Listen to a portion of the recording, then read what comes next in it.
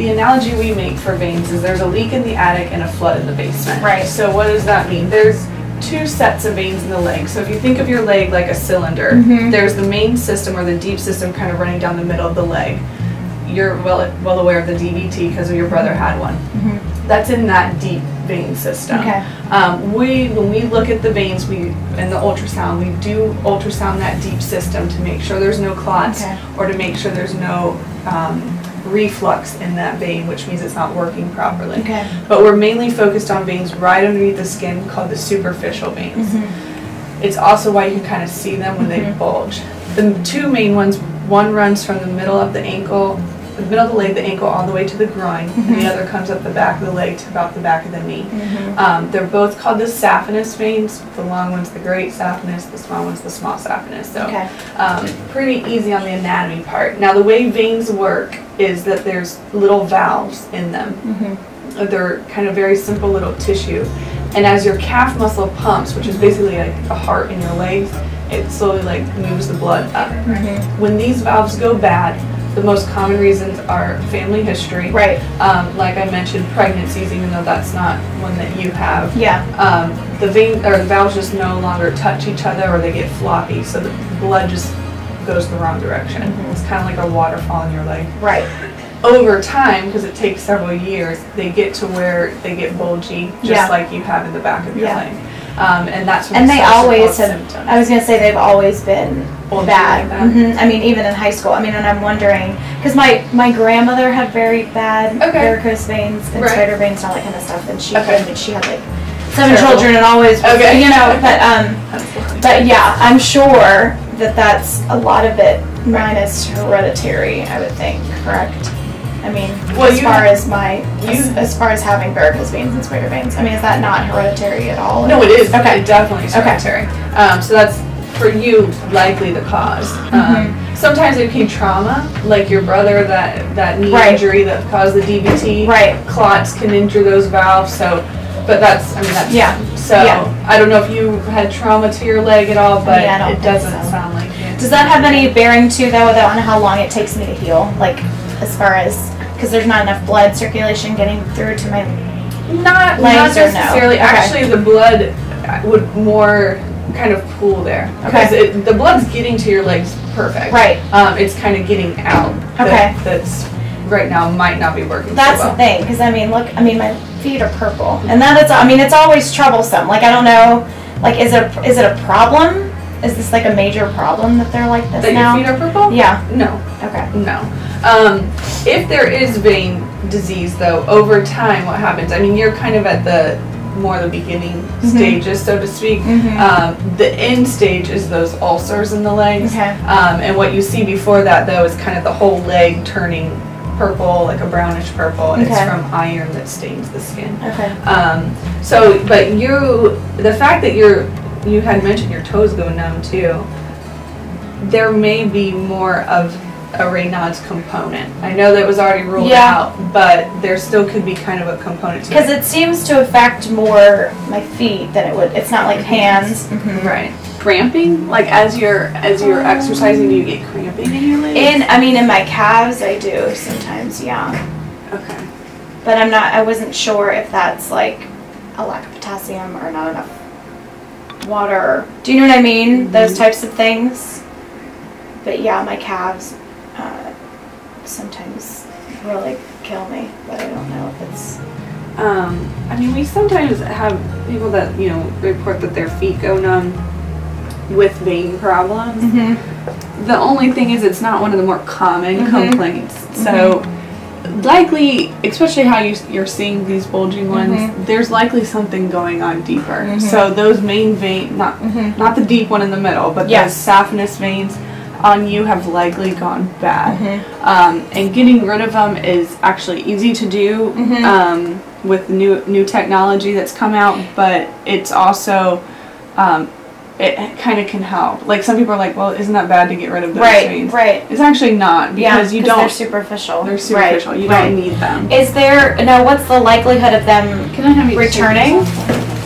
Like would the veins come back like that's the thing too is that i mean i did in high school go for like a consultation Mhm. it's like and he basically was like yeah, there's you know there is a problem, but it's one of those things where if you're gonna have children or anything like that, like it's just it's there would be no to point in him doing anything now. Gotcha. So that's kind of my thought too. Is I mean, if I did something now, okay, it would help temporarily, but then if I were to get married and have a child or something like that, would all of these symptoms come back and would it come back worse or no? Okay. Now, the vein, because the veins that we shut down are going to be gone.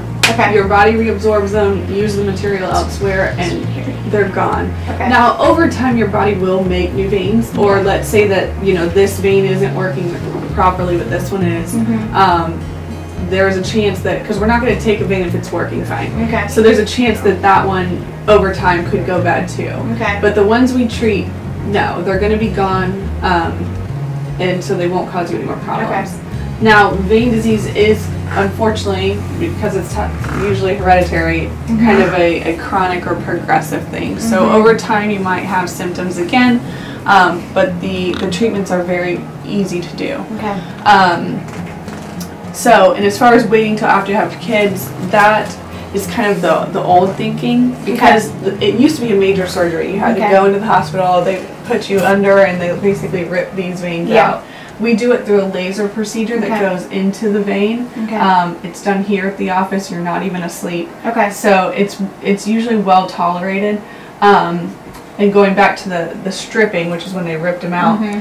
they weren't always effective, and Okay. that's why you would have it done, end up getting pregnant, and it would all come right back Right. because they didn't actually remove the right veins, Okay. and that's why the ultrasound is now used Okay. to show which veins are bad, Right. where they're bad, things like that. Right. So you're not taking out something that you wouldn't. absolutely, Yeah. and we're like getting everything. Mhm. Um, so, and I'm still trying to find your pulses, so sorry Oh, about that. no. um, like that over the summer, with be more time there. to recuperate, or what's the? The root actually, we could do the procedure in the morning and you could go back to work. It's, Really? It's that well tolerated. Wow. Most people don't want to. Yeah. Yeah. but no. you, we actually Okay. recommend you go walk right after. Okay. Uh, Dr. Pittman's joke is he re- he like doctor's orders are go to the mall. Mhm. Um, so we we want you to walk around. You don't Okay. have to go home and put your feet up. Okay. Um, but for you during the summer, you would obviously have more time Yeah. to do it. And that would probably work well because, like I said, most insurances are going to require that three month trial Okay. of the conservative therapy. Okay. So, So there is a three month minimum then on wearing the compression. unfortunately, Okay. with insurance. Okay. So what month are we in now? So I gotta get those. Well, it would actually be pretty good timing Okay. For you, except for you probably getting be getting ready for the next school Right. year Right. at- around July. Okay. So let me grab him, um, and he can talk to you a little bit more. Okay. I'll see if he can do the ultrasound. Okay. Perfect. Even if it's just a quick. What I wanted to do specifically is, um, is examine a pulse because she said she was having a problem with that. Mhm. And part of the problem might actually be you're sitting Uh-huh. the way you are. That Uh-huh. can happen. Um,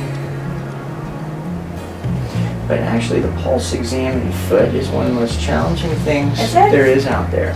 Believe it or not, um, after 20 years, because I'm an interventional radiologist, we're like cardiologists outside the heart, but Mhm. so much more. we, we do um, basically image guided surgery. And interventional radiologists invented stents, angioplasty, stroke intervention, and laser closure, of varicose veins. But you don't hear a lot about us. Um, but anyway, the only one, only ones I trust for a foot pulse are a vascular surgeon or an interventional radiologist because they can be very challenging. You want me to move? No, not right now. Just just relax. Okay. Yeah, that's part of part of it. I Mhm. know it's it's not normal for strange people to be touching the feet, so people kind of tense up a little bit. In a moment, I think I might have you stand up. Yeah, I can feel it now. Another thing is there's there's there's a posterior tibial pulse behind the ankle here, and then there's dorsalis pedis pulse on the top of the foot. I'm a recovering assistant professor, so I spew a lot. Um, but anyway, um, you have two of these arteries, and they're often uh, one's dominant and one's not. And basically, your posterior tibial artery is dominant. So if Right. we really go back there, we can feel it. Yeah. But the one on the top of your foot, No. um, not so much. But anyways, I think your arteries are just fine. Okay, yeah. That explains it right there. Any, Yeah. anyway, anything you see, we're gonna get rid of. Okay. Um, But, uh. I know she had mentioned too about the compression hose, Yes, um, or that I have to wear that for. Most- most- Three months, I think she had said or something. most insurance companies Yeah. and Medicare require a three-month trial of compression Okay. hose. Um, it's not necessarily a scientific thing. Right. To be perfectly honest, I think it's just a way to sometimes delay care, or push people Yeah. into new deductibles. Yeah. Um, but, but at any rate, those are the criteria that we have to abide by. Mhm. Um, so, uh, yeah, we would need to see you back in three months, um, and see how you're doing with the hose. Okay. Actually, hose work great. Yeah. Um, they, uh, have been around for over hundred years, they'll make people feel better if they have vein problems, but no one wants to wear them the rest of their life. Yeah. Um, And then actually, um, we use the hose after we treat you. So Okay. anytime we do laser or chemical injection, we're always gonna put you in a hose for a week or two. Okay. Because after we irritate the veins with, with the laser or the Mhm. chemical injection, the hose basically compress the veins so that it heals shut. Okay. That's why we torch you with hose, but only for a few weeks. Okay. Um, so anyway, Sandra here will measure you for the hose. Okay. Um, hose often get a bad, bad rap, no pun intended, when people have worn hose in the past because um, there's all sorts of different kinds and Right. quality. Right. The ones we have here are custom measured, they're custom fitted, and they don't have any latex rubber in them, so Okay. they should be reasonably comfortable for you. Because it is nice to know if your symptoms do get a little bit Yeah. better um, uh, with the hose, because uh, it's a very, uh, it's a way to diagnose people. Right? Right. People that have arthritis, um, back pain with sciatica, that kind of pain that radiates into the legs, and vein care and vein problems. Right. If we put them in hose um, and they get better, then I know they have a vein problem. It's going to respond to treatment. Um, now, some people think if they come in and, and say they feel better after three months with a hose, and I'm going to tell them, okay, well, keep wearing them for the rest of your life. Uh, That it just Mm-hmm. Yeah. it, do- it doesn't Yeah. matter. It's just you need to do that Yeah. trial. Just So- see. Yeah. So yes, I like to hear people say, yeah, it's a little marginally better, but you know, normally what people are going to complain about is they're they're difficult to put on, take off, they're not necessarily comfortable. Yeah. Um, so anyway, just experiment with them, and then um, three months later we'll see you, and then uh, we'll get you approved. When you have bulging Is there- varicosities like that, Yeah. you- you're, we're definitely going to find an objective problem on the ultrasound. Is there any? Is, do you have any time for an ultrasound today or no? I wish I did. Okay. Um, I wish I did, but we don't. Okay. Um, and it takes about 30 minutes, a very detailed exam. It's not just, uh, there's two sets of veins. It's not Mhm. just a rule out clot Mhm. exam. Um, your teacher, okay. I thought maybe you're a nurse or something. No. But it's a very detailed thing. And, Yeah. and actually, you know, ultrasound's uh, really what's revolutionized vein care. It shows us exactly where these leaks are.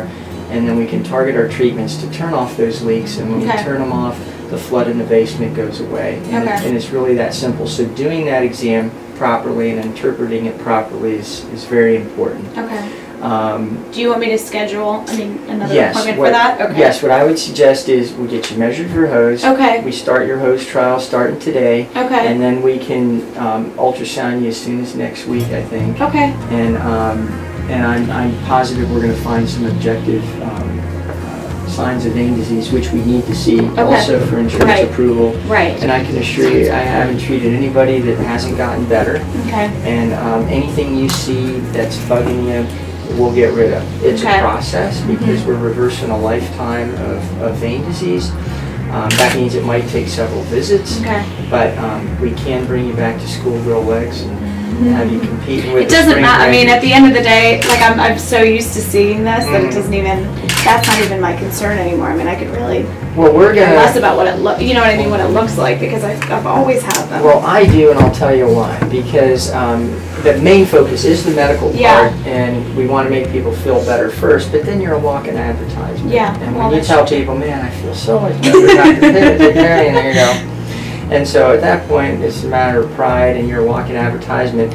So we normally do a little bit of complimentary sclerotherapy, cosmetic sclerotherapy to show you Mm-hmm. now, can you how do? I mean, it is. is there anything that you can do? Like I have, you know, like these like little like Any- spider veins and stuff. Okay. You see, Because I mean, I'm starting to get them. Like the more I exercise too, the more I get them. anything you see, we can get rid of. Okay. Um, and I'll talk to you more about that, um, Okay. later. So yeah, I don't, I don't like sending people out feeling better without looking better. Right, And- And well, we're gonna true. make you an offer you can't refuse to Okay. to get you to schoolgirl legs. It's Okay. kinda, um, you're our best advertising. We, that's how we do it, one Mm-hmm. Yeah. patient at a time. Yeah.